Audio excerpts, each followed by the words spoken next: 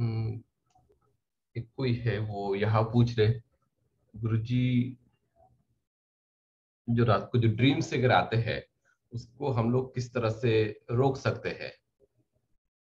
क्या आते हैं?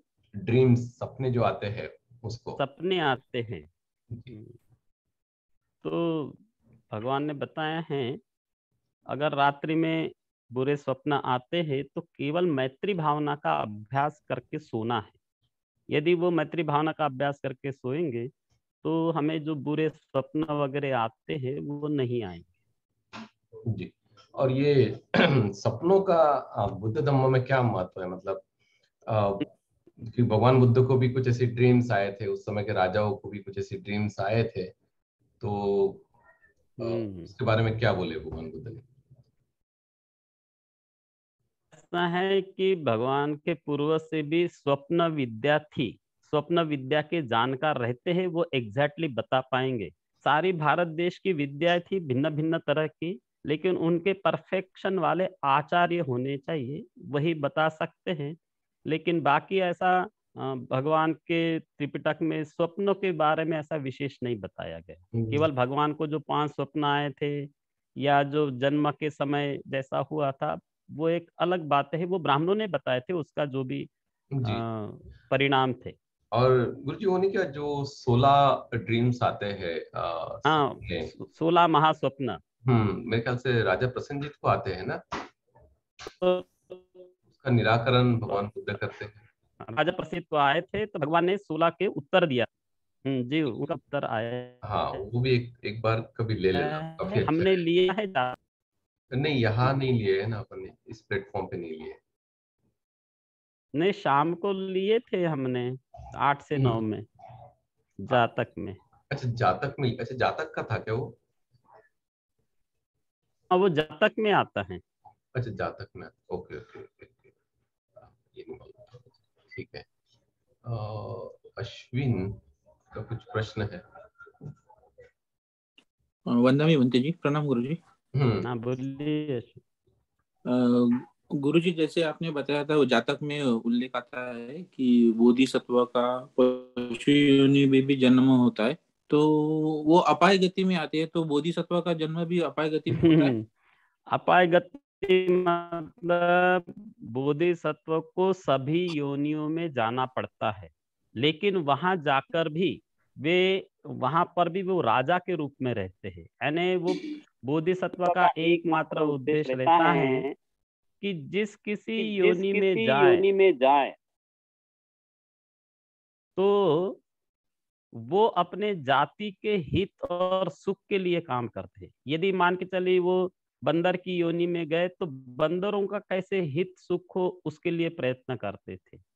वे जैसे सिगाल की योनि में गए तो सिगालों का राजा बन के रहे और सिगाल में जब दुख आता है तो उस दुख से मुक्त करने का प्रयत्न करते रहते। तो ये बोधिसत्व रहते वहाँ हीन प्राणी के रूप में नहीं लेते, वो बड़े रहते हैं। हर, चाहे वो पशु योनि में भी रहे और उनको जाना ही पड़ता है।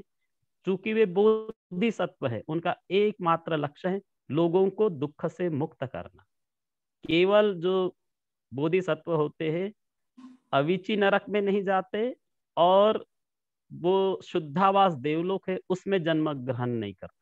बाकी सारे योनि में जन्म ग्रहण करना पड़ता जी गुरु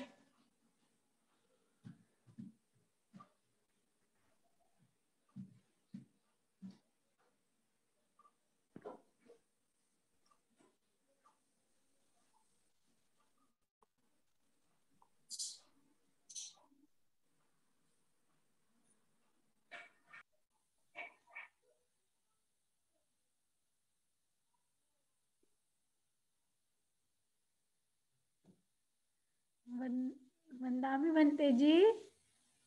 प्रणाम गुरु जी बोलिए। बोलिए। हाँ। गुरु जी मेरा एक क्वेश्चन है कि जैसे साधना में कई बार ये लगता है कि, कि कोई प्रॉब्लम आ रही है कुछ भी है तो हम ये जाने कि मार का ही रोल है मार ही प्रॉब्लम कर रहे हैं। जी बिल्कुल। जी बिल्कुल। इधर पूछनी थी आज हम लोग बोध गया जा रहे हैं तो बोध गया में भगवान की धातु होगी ना मतलब भगवान की धातु?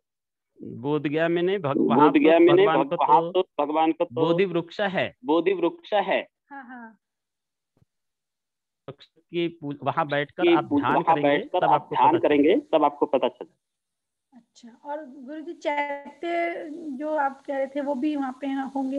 हाँ जी आप हाँ आप तो भगवान को ज्ञान तो प्राप्त भगवान को ज्ञान प्राप्त हुआ है।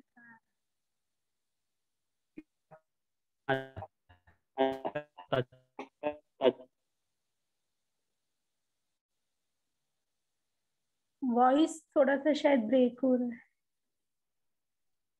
कुछ गड़बड़ है। कुछ गड़बड़ है।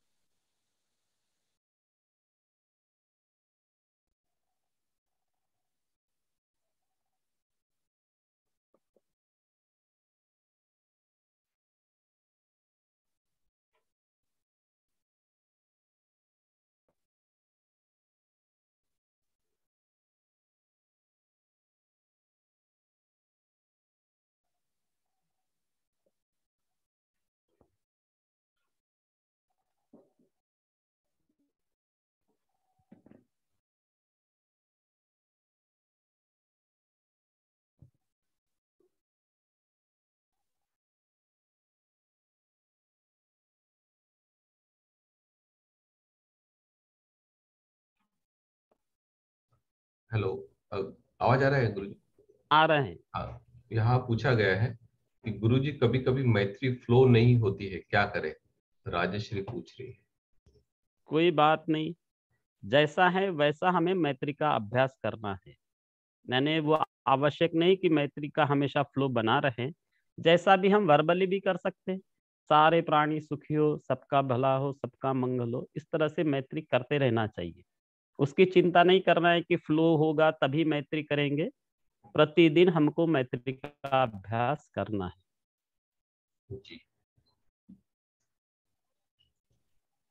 और कुछ प्रश्न इधर आए हैं मेरे पास में?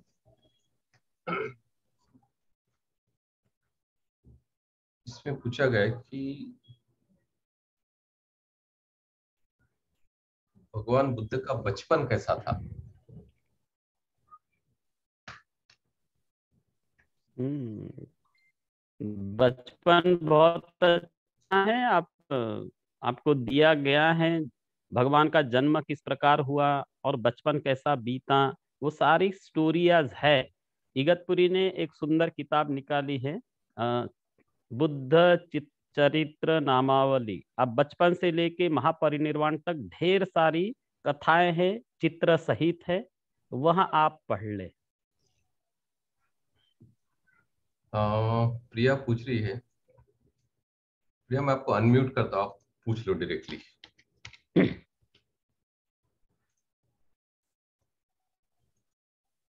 करो।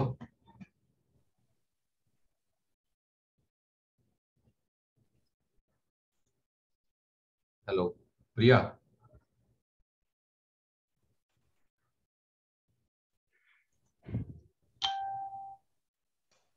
पूछो। प्रणाम आचार्य जी। जी। हाँ जी आ रही। आचार्य जी जो पगोड़ा सेल्स होते हैं हमें जब भी हम जब हम ध्यान के लिए जाते हैं तो हम घर पे भी उतना ही पावरफुल ध्यान कर सकते हैं in the absence of pagoda sale और अगर पगोड़ा नहीं है तो हम उसको घर पे ही रह के कैसे अभ्यास करें? नहीं पैगोड़ा एक अलग चीज़ है पैगोड़ा तो घर में नहीं हो सकता। हाँ और सेल सेल जैसा आप अपना एक सिंबल यानी सेपरेट रूम बना लीजिए और वहाँ बैठ के ध्यान करें तो एक आपका शून्यागार सेल टाइप हो जाएगा। लेकिन तो- पैगोड़ा की बात घर पे संभव नहीं है। तो बेनिफिट बेनिफिट उतना ही होगा क्या जितना हम पगोड़ा में बैठ के ध्यान करें तो? घर में करते हैं और एक विपश्यना केंद्र में करते हैं या कहीं भी करते तो अलग अलग तो रहेगा क्योंकि सेंटर का जो वातावरण होता है, सारा ध्यान युक्त रहता है, सारे लोग तपते रहते हैं, घर में हम अकेले करते हैं तो उसमें अलग अलग होता है, क्योंकि समगानंग तपो सुखो, सब मिलके ध्यान करना एक अलग होता है। अकेले ध्यान करना बड़ा थोड़ा सा डिफ़िकल्ट होता है, जो बहुत अकेला पुण्य पारमी वाला होता है, वो अकेला ध्यान कर सकता है। तो घर में जितना जो सेंटर पे लाभ होता है, वो घर में उतना नहीं हो सकता। घर में प्रैक्टिस करना है लेकिन फिर अच्छे से भीतर गहराई में जाने के लिए आपको पैगोड़ा या सेंटर पे जाना होता है। ठीक धन्यवाद गुरुजी। इसमें अश्विन पूछ रहे मारा एक्सीडेंट भी करवा सकता है क्या? हम्म। किसी की जान भी ले सकता है क्या? किसी को विपशना करने से रोकने के लिए भी कर सकता है मार ऐसा है कि ध्यान में वो बाधा पहुंचाता है, बस इतना कर सकता है। बाकी वो मार नहीं सकता। यदि हम पहचानते हैं उसको कि ये मार है तो वो मार नहीं सकता। एक्सीडेंट वगैरह अन्य किसी कारणों से होते हैं, या कोई यक्ष लोग होते हैं, या दूसरे चंड स्वभाव के होते हैं, वे लोग करवाते होंगे, लेकिन हम उसके बारे में नहीं जानेंगे। मार जो होता है, केवल ध्यान वालों को परेशान करता है कि ये ध्यान न करे। कैसे भी ये निर्वाण की तरफ़ न जाए ये जो छह इंद्रियाँ हैं उसी में उलझा रहे यही उसका काम है। जी। विवेकानंद बोल रहे हैं गुरु जी आज उपोषित है आफ्टरनून और इवनिंग को काली चाय ले सकते हैं क्या? हम्म काली चाय और फलों का रस ये ले सकते हैं शहद ले सकते हैं उपोषित के दिन ये सब चलता है। जी।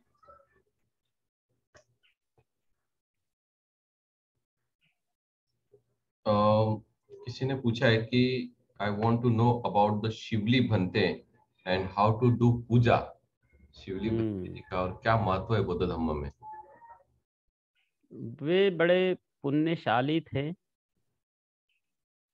अपने पुण्य के कर्म के कारण जैसे कहीं यात्रा करनी रहती है जैसे 500 भिक्षु कहीं रेगिस्तान में किस जंगल में जा रहे तब भगवान कहते थे, ये शिवली भिक्षु को साथ ले चलना। तब खाने पीने की, भोजन की किसी चीज़ की कमी नहीं पड़ सकती थी। क्योंकि वो उनके पूर्व कर्म के कारण ऐसा उनको मिलता था। क्योंकि एक पूर्व कर्म में उन्होंने प्रत्येक बुद्ध को ऐसा शहद वगैरह का दान दिया था। उस कर्म के कारण उनको कभी भी भोजन की कमी नहीं पड़ी। इसलिए भगवान हमेशा ऐसे किसी निर्जन स्थान में या कहीं जहाँ संभावना नहीं दिखती थी तब भगवान शिवली भंते जी को भेजते थे। तो बाकी कुछ नहीं है हमें हमने भी वैसे ही दान वगैरह करना चाहिए खाने पीने की वस्तुओं का दान करना चाहिए।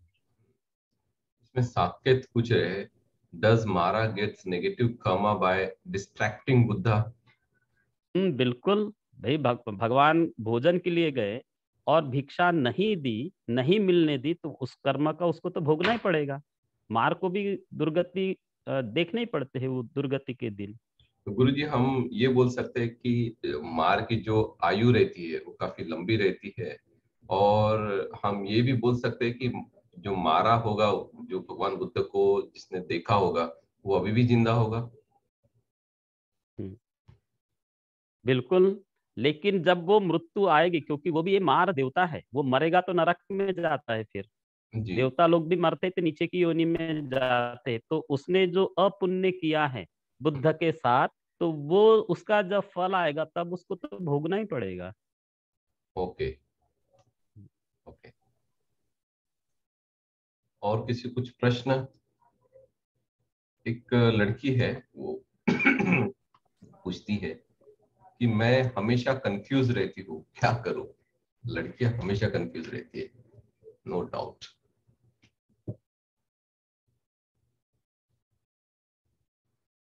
गुरु जी प्रश्न आया मेरा।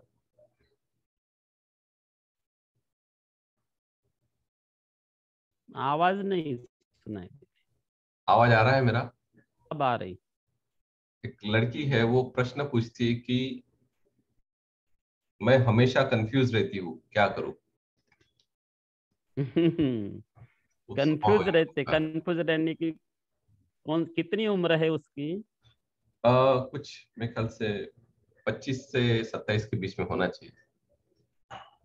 अच्छा पच्चीस सत्ताईस के बीच में होना चाहिए। हम्म, पहले तो निश्चित कर ले कि उसको करना क्या है। एक दो अगर शिविर नहीं की है तो पहले एक हाथ दो शिविर कर ले ताकि क्लैरिटी थोड़ी सी आ जाती है। क्योंकि वे ही कंफ्यूज नहीं सारे लोग कंफ्यूज है कि हमें एग्जैक्टली क्या करना है और क्या नहीं करना है। केवल उसने तो बोले कि वे कंफ्यूज अधिकांश लोग कंफ्यूज रहते हैं। तो शिविर कर ले थोड़ी सी प्रज्ञा आ जाए थोड़ा सा ज्ञान आ जाए और फिर डिसाइड कर ले कि हमको एग्जैक्टली क्या करना है। और धर्म का एक ऐसा फ़ील्ड है कि कंफ्यूजन होने की बात ही नहीं। जी। या साकेत पूछ रहे what is the importance of Dhammachakra Pravartan Sutta सारे सूत्र महत्वपूर्ण हैं। केवल हम एक ही न कहे कि धर्म चक्र प्रवर्तन सूत्र ही। इम्पोर्टेंट है भगवान के जितने भी वचन हैं, सभी महत्वपूर्ण है। धम्म चक्र प्रवर्तन सूत्र का ये इम्पोर्टेंस है कि भगवान ने जैसे पहला ये सूत्र कहा, गिनती नहीं, इतने देवता श्रोतापन्न और अरंत हुए। ये महत्वपूर्ण है उस सूत्र का। What is the importance of Tripitaka Sutta Rupali पूछ रही है। बुद्ध वचन है, वो पूर्णता त्रिपिटक है। और बुद्ध वचन को जानना नितांत आवश्यकता है। भगवान ने स्वयं बताया है, जब बुद्ध वचन नहीं रहते हैं तो सारा लोक अंधकार में डूब जाता है। और यदि प्रकाश चाहिए तो बुद्ध वचनों की आवश्यकता है। तो बुद्ध वचन वो त्रिपिटक में है, इसलिए त्रिपिटक का महत्व है। ये शमत और शमत ध्यान और विपशना ध्यान में क्या अंतर है? समत शब्द का अर्थ है चित्त को शांत करना, इसलिए वो समथ बोलते हैं, एकाग्र करना, विक्षिप्त रहता है, उसको शांत करना, एकाग्र करना, इसलिए समद बोलते हैं। तो ये ध्यान है और विपसना ऐसा है कि जो चित्त के विकार है, उनको कैसे दूर करना है, वो विपसना कराती है। समत यानी केवल ध्यान होता है तो समत और विपसना दो अलग अलग शब्द है। जी। हमें थॉटलेस स्टेट कैसे प्राप्त हो सकती है? हम्म, अभ्यास करना पड़ता है। अपने आप कोई चीज़ नहीं होती। आपको थॉटलेस बनने के लिए खूब आनापान सती का अभ्यास करना होगा। थोड़ा सा समय देना होगा। हम चाहेंगे कि एक ही दिन में थॉटलेस हो जाए ऐसी कोई बात नहीं है। दस वर्ष कोई देता है तो दसवीं कक्षा पास करता है। तो थॉटलेस बनने के लिए भी आपको कुछ समय देना होगा। और अभ्यास करना होगा। प्रॉपर में उसी लड़की का प्रश्न है कि फीलिंग एंड इमोशन एक ही है क्या? और एक कैसे हम्म। काम करते हैं? ये सारा फीलिंग इमोशन कैसे काम करते हैं यह जानने के लिए आपको विपसना करनी होगी। उसमें सारी चीज़ें आती है। तो आप करें।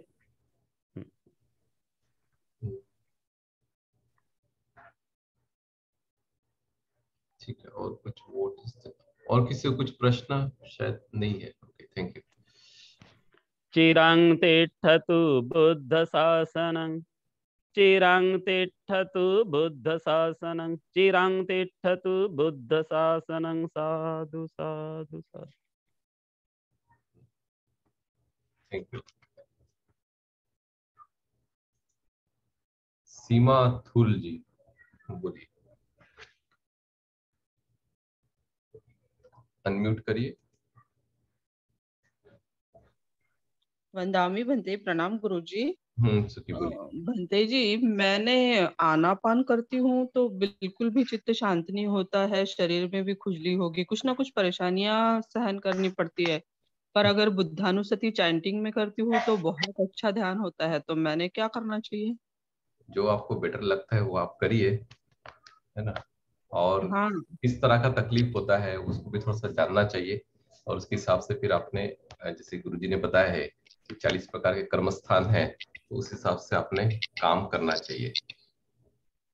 और आनापान बिल्कुल भी नहीं ठीक से होता। यानी बहुत कम वक्त पाँच मिनट दस मिनट ऐसे ही होती हो। एक तो विचार आएगी या खुजली होगी हाथ पैर में दर्द होगा चीटी आएगी। बहुत ही तकलीफ़ महसूस करती हूँ जब भी करना चाहती हूँ। पर बुद्धानुसति चैंटिंग में बहुत अच्छा फील होता है और अच्छे से आधा पौन घंटा तो भी बैठ जाती हूँ। जी। अच्छा आपको उतनी तो जागरूकता है कि आपको कुछ मिनट्स तक के आपको वो सब फील हो रहा है आप अंडरस्टैंड हाँ. कर पा रहे हैं। उसी को उसी स्ट्रेंथ को थोड़ा सा आपको थोड़ा सा अभी बढ़ाने का है और ये सब तकलीफ़ आती जाती रहती है धीरे धीरे वो निकल जाएँगी और जैसा आपने बोला कि बुद्धानुसति धम्मानुसति संगानुसति ये अगर आप इसको करने से आपको अगर रिलैक्सेशन मिलता है मन एकाग्र होता है तो वो भी एक ध्यान है। और भगवान बुद्ध को धम्म को संग को स्मरण भी हम लोग करते हैं तो उसको भी आप प्रैक्टिस करें। राइट और हाँ। कोशिश करें कि दीगम व अस्य संतो दीगम अस्य सामीति पजानाति।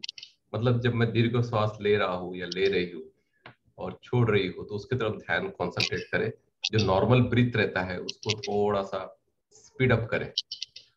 और एक सत्यपठान सुत्त भी है थोड़ा आप उसको भी प्रैक्टिस में लाए सत्यपठान सुत्त और किस तरह के इमोशंस फीलिंग्स उस समय आते हैं उसके हिसाब से आपने काम करना चाहिए। तो आप मुझे बाद में मेरा नंबर है यहाँ आप मुझे बाद में कॉल करें तो मैं फिर आपको इसके बारे में और डिटेल्स में बता दूँगा फिर मैं। Thank you Bhante thank you साधु साधु साधु हाँ।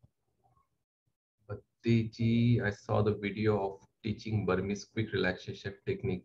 Is it also counted in the Vipassana? हाँ क्योंकि वो भी संवेदनाओं के ऊपर अ, देखने के लिए और माइंड को रिलैक्सेशन करने के लिए ही है वो बिल्कुल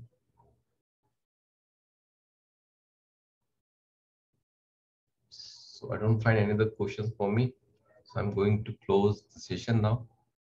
और किसी कुछ प्रश्न है मेरे लिए? मुझे आज गुजरात जाना है। Okay then thank you blessings for you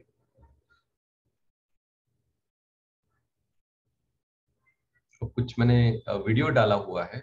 एक लड़की और भगवान बुद्ध का संवाद है। डेथ के ऊपर आप ज़रूर उसको देखें। और वो डेथ का कंटेम्पलेशन करने के लिए भगवान बुद्ध ने उसमें बोला है, उस स्टोरी में। तो वो काफ़ी यूजफुल रहेंगी, क्योंकि मैं उसको काफ़ी सालों से मैं भी खुद प्रैक्टिस कर रहा हूँ। तो उससे आपका मन बहुत जल्दी समाहित हो जाता है और आपको कुछ नेगेटिव थॉट्स भी नहीं आते हैं और आपको ज़्यादा राग, द्वेष वाला जो चित्त रहता है, वो भी शांत हो जाता है। क्योंकि उसमें एक एक अंडरस्टैंडिंग और एक मैच्योरिटी माइंड की बहुत ज़्यादा बढ़ जाती है। वो आप जो बुद्धा विजडम का जो चैनल है, उस पर डाला हुआ है। तो थोड़ा सा एनिमेशन भी उसमें डाला है। तो आपको बेटर अंडरस्टैंडिंग के लिए और थोड़ा इंग्लिश टू हिंदी करने का कोशिश किया हुआ है। प्लीज़ आप उसको देखें और फिर मुझे बताइए कैसा लगा आपको वीडियो थैंक यू